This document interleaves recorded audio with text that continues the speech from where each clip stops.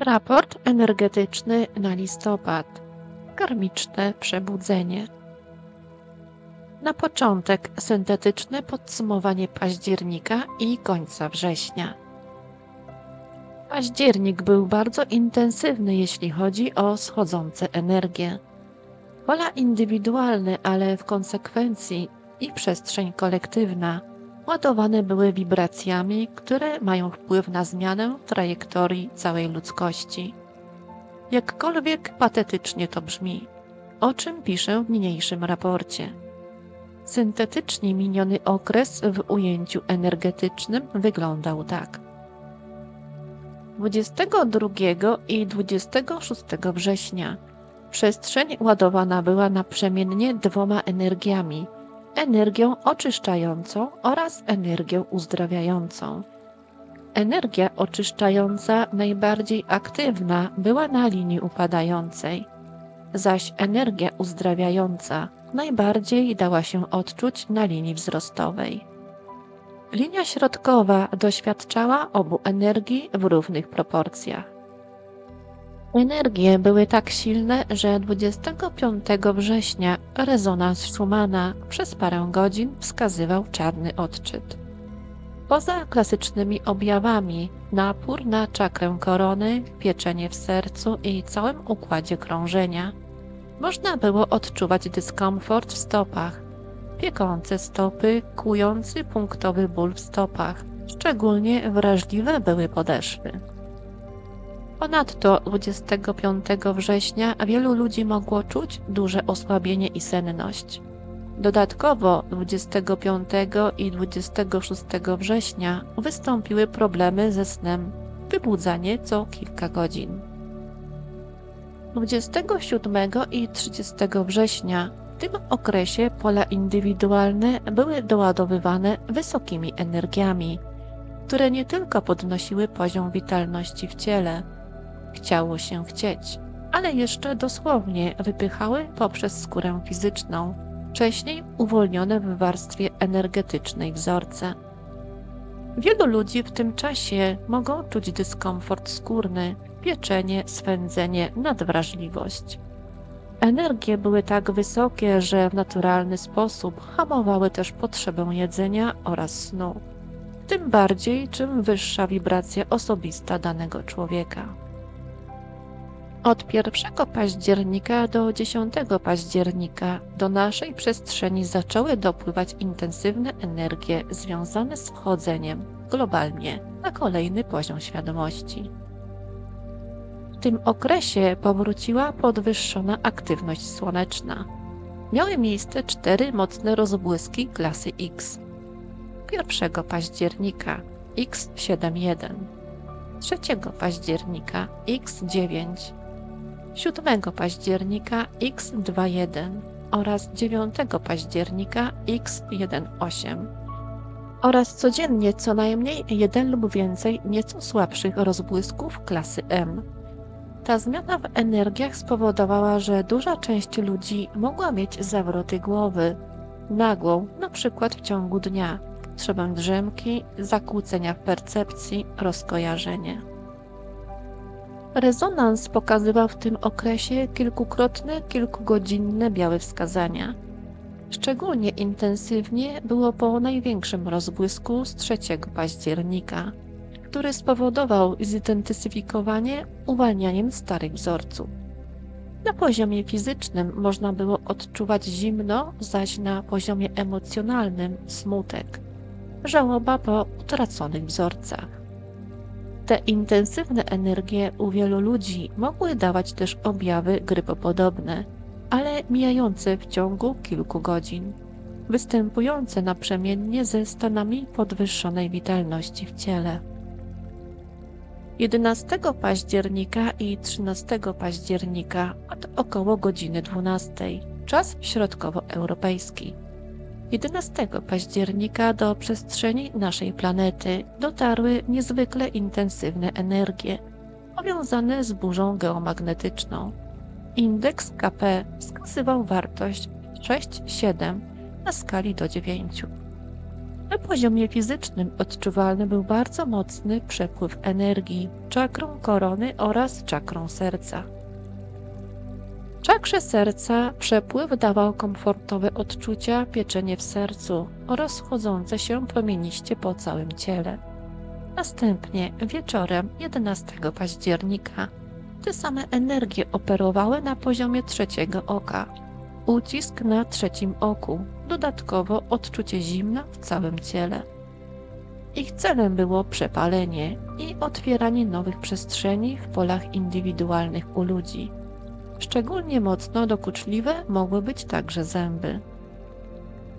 14 października i 16 października do naszej planety dotarły ostre energie krystaliczne. Od razu przyniosły przejrzystość przestrzeni i polach indywidualnych. Na poziomie ciał fizycznych towarzyszyło temu odczucie podwyższonego ciepła od środka, bardzo gorące stopy i ręce, czyste zatoki, wyostrzony wzrok. Ale odczuwalny był też układ trawienny. Tutaj możliwe problemy. 17 października i 20 października w tym okresie w polach indywidualnych kotwiczone były nowe wzorce, które będą potrzebne do manifestacji procesów, które czekają nas w grudniu. O kluczowym procesie grudniowym wspominam w dalszej części i będę obszernie pisać w raporcie na grudzień. 17 października energie były tak mocne, że dawały wręcz nieprzyjemne pieczenie w sercu. Dodatkowo w całym tym okresie miały wpływ na problemy ze snem. Kluczowym procesem, jaki przyniesie listopad, będzie temat karmy, rozumianej jako myślenie, działanie człowieka i reakcja przestrzeni. Pod tym względem listopad jest bardzo interesującym miesiącem, ponieważ wieńczy cały roczny cykl karmiczny i stanowi otwarcie dla kolejnego cyklu rocznego w tym zakresie. Jest też najlepszym czasem na rozpoznanie własnego sprawstwa przyczynowo-skutkowego w przestrzeni. I o ile w poprzednich latach procesy związane z karmą miały charakter karmicznych wyrównań, o tyle w tym roku proces ten będzie znacznie głębszy. Dotyczy on teraz karmicznego przebudzenia, czyli zrozumienia i przyjęcia skutków własnych działań. To wejście w przestrzeń osobistej odpowiedzialności za to, co się myśli, mówi i robi. Co jest milowym krokiem do osobistej wolności. Mała dygresja. Stali odbiorcy raportów wiedzą, że o osobistej odpowiedzialności, zasadach kreacji i powiązaniu myśli, słów, czynów z reakcją przestrzeni piszę już od wielu miesięcy, a nawet lat. Jednak teraz procesy te wreszcie stają się zauważone na skalę masową. Ma to z jednej strony związek z uzyskaniem poprzez pojedynczych ludzi masy krytycznej w tym zakresie a z drugiej strony masa ta umożliwia kotwiczenie wyżej wibracyjnych energii w polu kolektywnym, co aktualnie może mieć miejsce. Karmiczne przebudzenie może być dla wielu ludzi bardzo mocnym uświadomieniem, osobistym ujawnieniem. Pozwala ono zobaczyć własną sprawczość do przestrzeni, szczególnie w zakresie niskowibracyjnych wzorców. Może to być naprawdę mocne doświadczenie pierwszej chwili wywołujące typowe emocje dla szoku poznawczego. Od negacji, potem gniewu, nadziei, że jednak może nie, smutku, a wreszcie akceptacji, że tak jest. Jednak zrozumienie tego mechanizmu jest kluczowe, by móc dalej ewoluować. Ponieważ procesy, jakie zachodzą w polach indywidualnych, mają w następstwie swoje przełożenie na procesy globalne, Listopad będzie miesiącem, w którym wypłyną na powierzchnię duże tematy społeczne, a do tej pory ukrywane lub zamiatane pod dywan. Warto pamiętać jednak o tym, by w obliczu różnych informacji zewnętrznych zaniechać rozpraszania się i utrzymać energię osobistą w skupieniu w sobie. Listopadowe energie związane z tym procesem będą na tyle mocne, że u ludzi, którzy nie rozpoznają tego mechanizmu karmy w swoim działaniu, będą powodować dolegliwe okoliczności życiowe, adekwatnie do uśpienia. Po to, by jednak mechanizm karmy dostrzec w swoich działaniach i wejść w ścieżkę karmicznego przebudzenia. Mała dygresja. W jednym z archiwalnych raportów omawiała dwie ścieżki przebudzenia. Pierwsze przebudzenie poprzez świadomy rozwój i poznanie, trzecie oko, oraz drugie przebudzenie przez trudne doświadczenia. Ta pierwsza ścieżka dotyczy ludzi, którzy świadomie wybrali ścieżkę wzrostu poprzez odkrywanie, kim są i cechuje ich skierowanie do swojego wnętrza. Ta druga ścieżka odnosi się do ludzi skupionych na swoim otoczeniu, wydarzeniach zewnętrznych, pozostających bez uważności na własne działania w środowisku. Niejednokrotnie pierwszy typ ścieżki jest poprzedzony drugim typem ścieżki, choć nie jest to reguła. Jednak część istot, szczególnie będących na linii upadającej, pozostaje w swoim życiu tylko na drugim typie ścieżki choć oczywiście możliwość przejścia na pierwszy typ ścieżki nadal jeszcze jest możliwy. W związku z tymi schodzącymi energiami warto zachować scentrowanie w sobie i uważność na to, co się wydarza. Bardzo istotne w listopadzie będzie stabilizowanie przestrzeni poprzez osobistą wibrację serca i wsparcie tych, którzy doświadczają osobistej karmy, z miłością i w zrozumieniu. Listopad poza możliwością karmicznego przebudzenia będzie miesiącem wyrównania energii w zakresie osobistej karmy.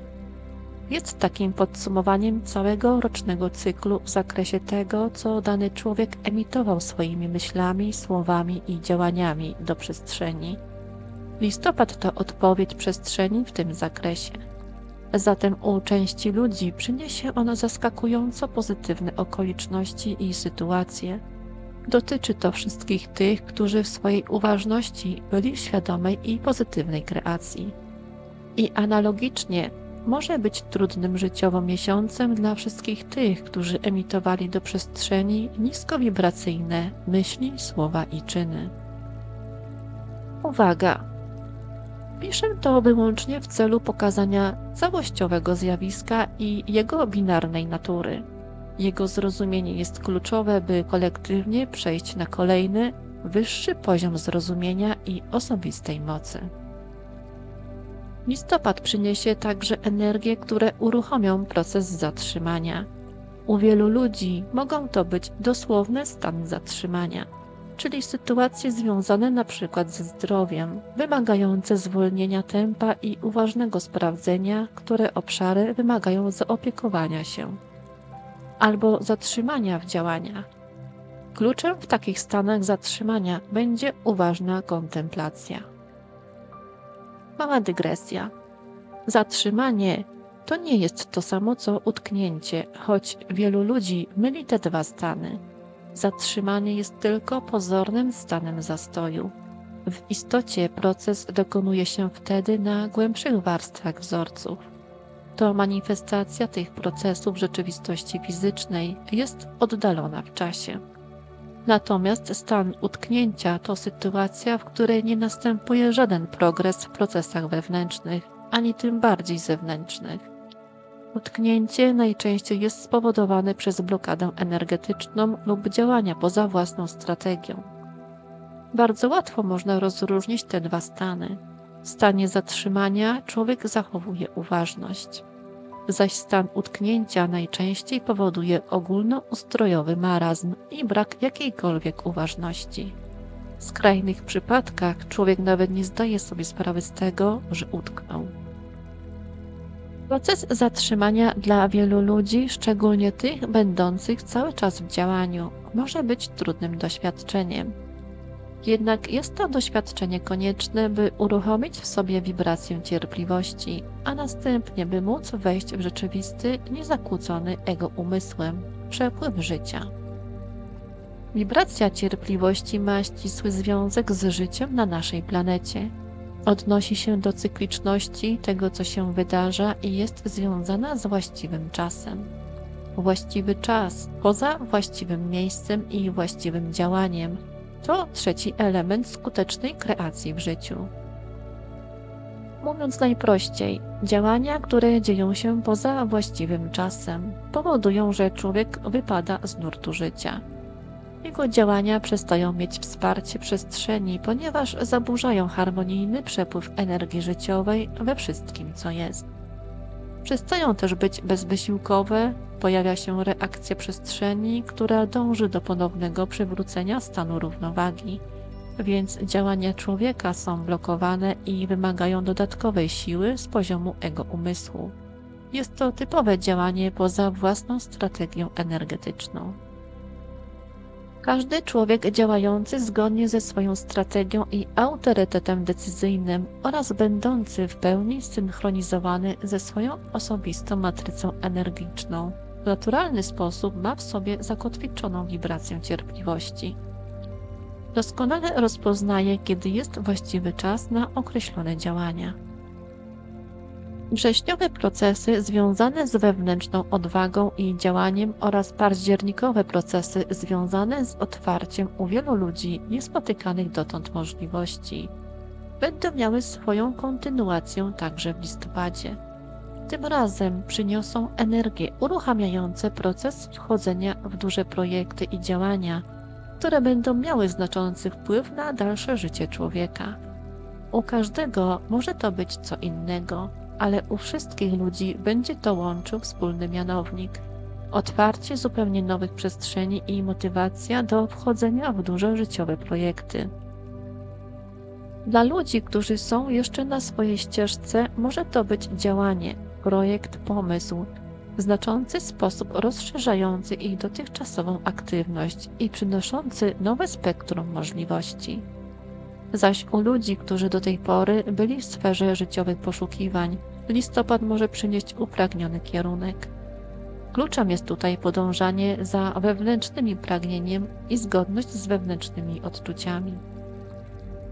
Przy czym nie chodzi tutaj o małe działania lub małe zmiany. Chodzimy w czas wyborów i decyzji odnośnie dalszej kluczowej aktywności życiowej. Tym razem dotyczy to przestrzeni materialnej, ponieważ wybory związane z przestrzenią energetyczną, osobistą linią czasową i dalszą ewolucją u przeważającej liczby ludzi już zostały dawno podjęte. Warto więc być uważnym i otworzyć się na zupełnie nowe obszary, które są naturalną konsekwencją zmian w ostatnich miesięcy i przynoszą zupełnie nowe możliwości. Wskazówka. Niektórzy ludzie mają wątpliwości i nie są pewni, czy coś się pojawia w ich życiu. Rzeczywiście ma związek z ich osobistą drogą, czy jest tylko sprawdzającym testem przestrzeni, na ile konsekwentnie wybiera się swoją drogę. W przypadku, gdy pojawiające się okoliczności są zgodne z osobistą drogą, wywołują one uczucia mające swoje zakotwiczenie w sercu dają mocno zauważalny wzrost energii na poziomie ciała, ale jednocześnie generują spokój, pewność i poczucie jasności co do prawidłowego kierunku. Tutaj nie ma wątpliwości. W przypadku zaś, gdy pojawiające się okoliczności tylko testem z przestrzeni, często pojawia się emocjonalna ekscytacja, jednak bez trwałego wzrostu energii w ciele. Mogą natomiast być naprzemienne wzrosty i spadki energii w ciele. Wchodząc w nowe przestrzenie, bardzo istotne jest, by utrzymywać własną energię przy sobie, bez rozpraszania się na czynniki zewnętrzne, szczególnie takie, które próbują odciągać uwagę. Bardzo istotna jest tutaj koncentracja na określonym kierunku, gdyż rozpraszanie energii na rzeczy z nim niezwiązane osłabia i wydłuża proces manifestacji. Ważne. Listopad to bardzo dobry czas na utrwalenie wrześniowego procesu stanowczości i stawiania granic wszystkiemu temu, ludziom, okolicznościom, co odciąga uwagę od kierunku życiowego człowieka, a tym samym dąży do pozyskania jego energii. Tutaj bardzo istotne będzie rozważne i selektywne angażowanie się w działania innych ludzi i uważność w działaniu. Jednocześnie istotna w tym wszystkim jest równowaga i otwarcie się na to z otoczenia, co wzbogaca i inspiruje osobistą ścieżkę przeznaczenia i osobiste cele. Kluczem jest wchodzenie w interakcje i relacje ze wszystkimi tymi ludźmi i okolicznościami, których wibracja jest zgodna na dany moment z osobistą drogą człowieka. Aktualnie to bardzo łatwo będzie można zweryfikować, co wspiera, a co udaje, że wspiera, a w istocie zabiera energię od realizacji życiowych celów. Po kontakcie z tym, co nie wspiera, będzie można szybko zauważyć spadek ogólnej energii i motywacji do realizacji osobistej drogi, połączone z rozproszeniem uwagi w tym zakresie. Ta selektywność przyniesie więc w listopadzie dość intensywne wycofanie się z niesłużących ludziom sytuacji i relacji, niezgodnych z ich osobistą drogą lub opierających się o fałsz. Z tego powodu listopad i kolejne miesiące przyniosą naprawdę duży ruch w zakresie relacji społecznych. Będzie to nowy fundament pod procesy, jakie czekają nas na wiosnę 2025 roku. Ważna dygresja. Relacje na czas nieokreślony to rzeczywistość starej matrycy. Teraz jesteśmy w potencjale relacji na czas określony, zatem takich, które nie towarzyszą nam na długo. Jak długo są zgodne z osobistą ścieżką przeznaczenia danego człowieka. Zatem w jednym przypadku może to być chwila, a w innym wiele lat. Aktualnie kluczem do relacji jest zgodność wibracyjna i możliwość wzajemnego wspierania się w celach życiowych. Bardzo istotne jest uchwycenie tego niuansu, ponieważ diametralnie zmienia on charakter wzajemnych interakcji społecznych właściwie w każdej przestrzeni życiowej ludzi. Z tego właśnie powodu znaczenia nabiera szczerość w relacjach i komunikowanie się z poziomu serca. Jako ludzkość kolektywnie wyszliśmy bowiem spod wpływu niskowibracyjnego oddziaływania jednej z energii w matrycy globalnej, która do tej pory zasilała wibrację nieuczciwości w relacjach. Całość tego procesu wspierają schodzące energie. W moim odczuciu o wibracji zielono-szmaragdowej. Uzdrowione połączenie z harmonizowaniem energią kobiecą, zrozumieniem, wybaczeniem, lekkością natury. Mała dygresja numer jeden. Nieuczciwość związana jest z brakiem komunikacji od serca, przywdziewaniem w relacji często nieświadomie określonej maski, odgrywanie określonej roli i pozowaniem na kogoś, kim się nie jest w obawie przed odrzuceniem. Tutaj można wstawić każdy inny lęk relacyjny w przypadku, gdy co najmniej jedna strona w relacji działa z poziomu nieuczciwości, z poziomu lęku relacyjnego, automatycznie nie ma prawidłowego i obustronnego przypływu energii. Po takiej interakcji następuje spadek poziomu energii osobistej, a relacja szybko się wypala lub dochodzi w niej do spięć. Próba odzyskania, pozyskania energii. Mała dygresja numer dwa Nieuczciwość w relacjach poprzez wejście w przestrzeń komunikacji od serca zmienia się z relacyjną bliskość. Następuje wtedy obustronny przepływ energii i każda ze stron po takim kontakcie ma poczucie wzrostu poziomu osobistej energii. Na poziomie globalnym daje to ogromny kolektywny przyrost energii. Kolejnym procesem, który rozpocznie się w listopadzie i następnie będzie się rozwijał przez kolejne lata, jest otwarcie procesu pełnej synchronizacji z osobistą matrycą urodzeniową. Więcej o tym napiszę w grudniu, ponieważ będzie to temat kluczowy. Teraz na razie go sygnalizuję. Synchronizacja ta dotyczy nie tylko przestrzeni energetycznej, ale teraz sfery fizycznej. O ile do tej pory głównymi obszarami zestrajania się z osobistą matrycą energetyczną były wzorce i warstwa energetyczna. O tyle teraz dokładnie te same procesy potrzebują być powtórzone w warstwie fizycznej, materialnej. Zatem jeśli wcześniej zestrojenie dokonało się w warstwach subtelnych, Teraz, przy wsparciu przestrzeni, człowiek będzie mógł także dokonać takiego zestrojenia na poziomie fizycznym. A dokładniej, chodzi o ciało fizyczne, które potrzebuje być w pełni witalne i zdrowe, by wspierać realizację ścieżki i przeznaczenia na planie fizycznym. Ważne, aby zestrojenie w warstwie fizycznej mogło się dokonać, człowiek potrzebuje podjąć konkretne działania w tym kierunku w przestrzeni materialnej.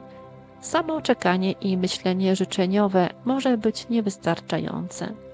Natomiast wcześniej dokonanie zestrojenia w warstwie energetycznej na poziomie wzorców mocno ten proces wesprze.